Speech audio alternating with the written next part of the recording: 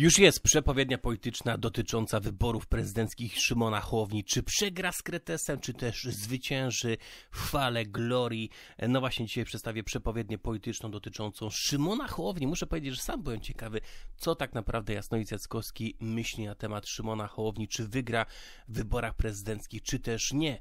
No ale o tym wszystkim w dalszej części tego filmu. Na samym początku, jeśli mnie jeszcze nie subskrybujesz, to zostaw suba, zostaw też łapkę do góry pod tym filmikiem. Kliknij, że w dzwona dostaniesz powiadomienie, kiedy wrzucę wrzucę nowy filmik. No właśnie dzisiaj przedstawiam przepowiednię polityczną. Jak wiadomo, Szymon Hołownia startuje w wyborach prezydenckich. Chcę powiedzieć, że ja przedstawiam e, przepowiednie i wizję Jasnowidza Jackowskiego. To nie oznacza, że tak naprawdę przedstawiam poglądy polityczne, tak? Przedstawiam je z punktu widzenia dziennikarskiego. No i teraz tak, Jasnowidz Jackowski udzielił takiego wywiadu e, dla dziennika bałtyckiego Tadeuszowi Woźniakowi. Tutaj będę się podpierał tym artykułem, dokładnie fragmentem dotyczącym Szymona Hołowni. Tytuł tego artykułu brzmi, e, artykuł brzmi w ten sposób. Jaki będzie 2020 rok? Krzysztof Jackowski, Jasnowic z Czuchowa, gorąco w polityce, zimno w pogodzie, tak?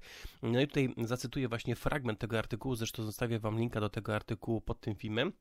No i jeśli chodzi o Szymona Hołownię, to Jasnowic Jackowski y, mówi w ten sposób, tak, y, na temat właśnie Szymona Hołownia i ewentualnych szans, y, żeby on zwyciężył w wyborach prezydenckich. Pytanie pada takie, tak, ze strony dziennikarza, a Szymon Hołownia, czarny koń tych wyborów, jak pan ocenia jego szanse? I tutaj odpowiedź Jasnowica Jackowskiego, cytuję. To ciekawa kandydatura, gdybym nawet nie powątpiewał w jego niezależność, a przyznaję, podejrzewam, że ktoś go wymyślił, może zebrać, może zabrać sporo głosów prezydentowi Andrzejowi Dudzie. 20 maja 2019 roku prezydentem Ukrainy został Wołodymir Zełenski, aktor, satyryk, wcześniej nie zajmujący się polityką, bez wielkich pieniędzy, sztabu politycznego, wydawał się być bez szans w starciu z wytrawnymi politykami. E, kiedy jest perspektywa wzięcia władzy, mogą znaleźć się pieniądze i ludzie gotowi służyć pomocą. Mam nadzieję, że Polska to nie Ukraina i przygoda pana redaktora Hołowni zakończy się kilkunastoprocentowym poparciem Polaków. Taki przebieg wyborów uspokoiłby przynajmniej na jakiś czas moje obawy o względny spokój w Polsce, w Europie, w świecie. Koniec cytatu, tak właśnie tutaj powiedział e, Jasnowic Jackowski, Krzysztof Jackowski, Jasnowic z Czuchowa. Nieprawdopodobna sytuacja. Czyli tak naprawdę tutaj Jasnowic Jackowski mówi, że to jest osoba, która została, e, tak, e, która została praktycznie przez kogoś wymyślona, tak, bo gdyby nawet nie powątpiła w jego niezależność, a przyznaję, że podejrzewam, że ktoś go wymyślił, tak tutaj mówi Jasnowic Jackowski, może zabrać sporo głosów prezydentowi Andrzejowi Dudzie. No tutaj to jest oczywista sprawa, tak, no bo to są podobne tak naprawdę zbieżne e, poglądy polityczne, tak, Szymon Hołownia, wiadomo, katolik, tak, bardzo często tutaj przedstawia swoje poglądy e, dotyczące właśnie kościoła religii katolickiej. No i Andrzej Duda też, tak? Wiadomo z jakiego ugrupowania praktycznie wywodzi się, jakie ma poparcie PiSu, więc e, w tym starciu tak naprawdę, jeśli chodzi o wybory prezydenckie, Szymon Hołownia mógłby zabrać kilka, czy nawet kilkanaście punktów procentowych Andrzejowi Dudzie. Natomiast mimo wszystko tego Jasnowic Jackowski mówi o tym, że i tak Andrzej Duda zwycięży w tych wyborach prezydenckich, tak? No dobra, teraz kolejny praktycznie fragment z tej wypowiedzi. 20 maja 2019 roku prezydentem Ukrainy został Wołodymir Zełenski, aktor satyryk wcześniej zajmujący się polityką. Bez wielkich pieniędzy sztabu politycznego wydawało się być bez szans w starciu z wytrawnymi politykami. Znaczy tak, no tutaj warto wspomnieć, że no, Szymon Hołownia no, nie wygra tych wyborów prezydenckich. No to nie jest jednak Polska, to nie jest Ukraina, to zupełnie inaczej wygląda. Oczywiście Szymon Hołownia może zdobyć poparcie, tak, ja nie mówię, że on nie zdobędzie, to może być kilkunastoprocentowe, tak, może być bardzo duże poparcie, nie wiem, e, takie jak na, na przykład Kidawa Błońska, e, poparcie, tak?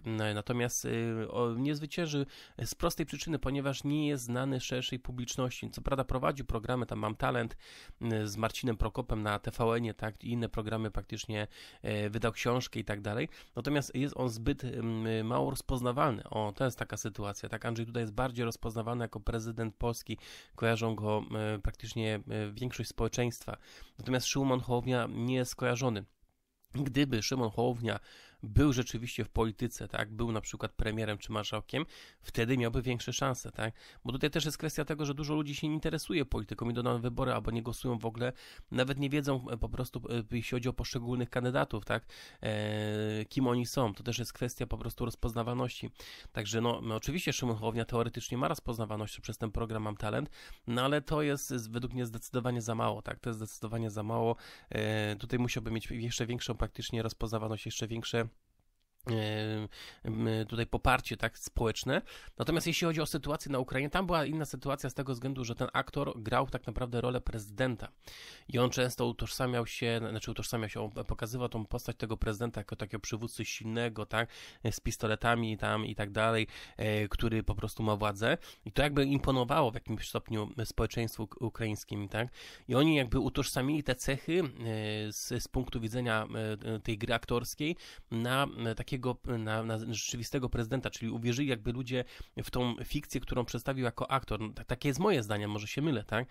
No, tak samo jakby u nas na przykład był taki prezydent, który by takiego grał tak silnego, mocnego, odważnego, który by na przykład tutaj e, tak dyktował warunki Unii Europejskiej czy też Rosji, no to i później na przykład taka osoba rzeczywiście startowałaby w wyborach, to ludzie by poszli po praktycznie zagłosowali na niego, bo by utożsamiali, tak? No to jest ta sytuacja tak samo jak aktorzy, tak? Czy Andrzej Grabowski, który gra w sieci według kiepskich, tak, e, czy na przykład Cezary Pazura, no te postacie praktycznie przykleiły się, e, tak, Cezary Pazura, czyli ten czarek, tak, z 13 posterunku, te postacie praktycznie e, kompletnie przykleiły się do nich, tak? Chociaż Andrzej Grabowski to już odchodzi od tej praktycznie postaci, czy, czy Cezary Pazura, ale w momencie, kiedy e, grali te postacie, tak, tylko praktycznie w, ty, w tych produkcjach, no to ludzie ich zaczepiali, tak, i no, nawet jak szli gdzieś do przy, przy, przychodni, do, do szpitala, no to mówili do niego, że to jest Ferdek Kiepski, tak, a to przecież był Andrzej Grabowski, także to jest kwestia tego, że ludziom jakby zatraca się ta e, rola aktorska z tym, jakim rzeczywiście ktoś jest po prostu człowiekiem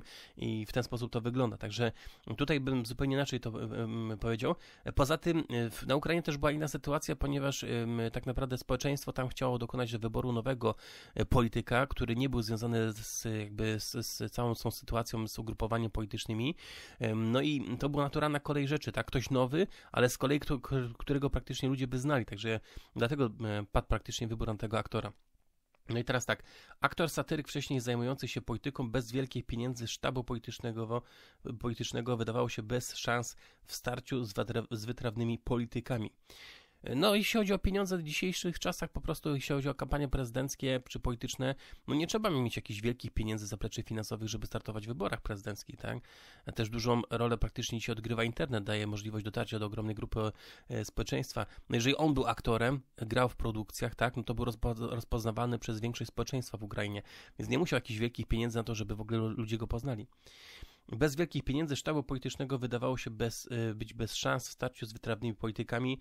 Kiedy jest perspektywa wzięcia władzy, mogą znaleźć się pieniądze i ludzie gotowi służyć pomocą. I tu trzy kropki, tak? No właśnie, mam nadzieję, że Polska to nie Ukraina i przygoda pana redaktora Hołowni zakończy się kilkunastoprocentowym poparciem Polaków. Czyli tutaj by wskazywał tak naprawdę Jasnowic, że miałby Szymon Hołownia kilkanaście procent poparcia. Pytania ile, tak? Od 11 do 18, 14 czy 15% poparcia. Taki przebieg wyborów uspokoiłby przynajmniej na jakiś czas moje obawy o względny spokój w Polsce, w Europie i w świecie. Tak zakończył tutaj Jasnowidz Jackowski. No ale pytanie jest takie, tak, no e, nawet gdyby na przykład Szymon Hołownia został wybrany na prezydenta Polski, no to co, to doszłoby do jakichś manifestacji, protestów, tak, zamieszek, e, że, e, gdyby, że jeżeli, jeżeli Szymon Hołownia uzyska kilkunastoprocentowe poparcie, to uspokoi to praktycznie Jasnowidza, e, jeśli chodzi o spokój w Polsce, w Europie i na świecie. No przecież tutaj Szymon Hołownia jakby został wybrany na prezydenta Polski, bo nie doprowadzi do jakiejś rewolucji, tak, obalenia, nie wiem, e, tutaj w, w Unii Europejskiej, e, tak, wojen i tak dalej, że ma się praktycznie to, to ma, ma y, jakby ma uzyskać takie poparcie kilkunastoprocentowe, natomiast nie zwyciężyć i to wtedy praktycznie jasnowidza uspokoi, tak? No to dla mnie troszeczkę dziwna sytuacja. Natomiast niewątpliwie, e, no tak mówię, no to jest raczej mało prawdopodobne. No ma rozpoznawalność tutaj e, Szymon Hołownia, ale musiałby wcześniej być politycy, musiałby być pewnie, pewnie według mnie premierem albo na przykład przywódcą jakiejś partii politycznej, żeby rzeczywiście miał realne szanse na to, żeby zwyciężyć, tak? E, raczej to, to, to nie przejdzie, jeśli chodzi o, o Polskę, żeby był taki scenariusz jak na Ukrainie. Natomiast rzeczywiście może tak naprawdę Szymon Hołownia ukraść te punkty procentowe, to poparcie Andrzeja Dudy, tak? No bo Andrzej Duda, jeśli patrząc, jeśli jeśli chodzi o zaplecze, tak, czy e, tutaj, e, tutaj tak, a więc y, to poparcie tej te, te grupy elektoratu, elektoratu, tak, to rzeczywiście to część tego elektoratu może zagłosować na Szymona Hołownię, tak, na Szymona Hołownia.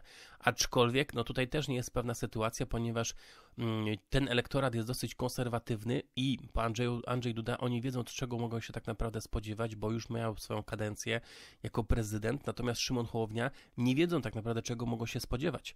Więc to też jest znak zapytania, tak? Co z tego, żeby zagłosowali tak naprawdę na Szymona Hołownię, skoro e, no, oni nie wiedzą tak naprawdę, a to konserwatywny e, tak naprawdę e, tak tutaj elektorat nie, e, nie zagłosują na Szymona, Hołownię, bo nie, nie wiedzą, co, co, tak naprawdę mogą się po nim spodziewać. Gdyby on był wcześniej przywódcą partii politycznej lub też na przykład premierem, to wydaje się, że tak, tak, e, to mogliby wtedy zagłosować. Napiszcie w komentarzach, co na ten temat sądzicie, jeśli mnie jeszcze nie subskrybujesz, to zostaw suba, zostaw też łapkę do góry pod tym filmikiem, kliknij grze w dzwon, a dostaniesz powiadomienie, kiedy wrzucę nowy filmik. Pozdrawiam, trzymajcie się, cześć.